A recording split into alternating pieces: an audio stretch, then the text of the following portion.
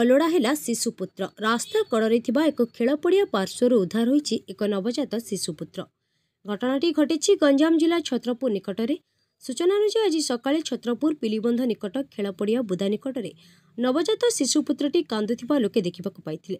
ଶିଶୁଟିକୁ କିଏ କାହିଁକି ଏଭଳି ଏକ ପରିତ୍ୟକ୍ତ ସ୍ଥାନରେ ଛାଡ଼ି ଚାଲିଗଲା ସେ ନେଇ ଆଲୋଚନା କରିଥିଲେ ଲୋକମାନେ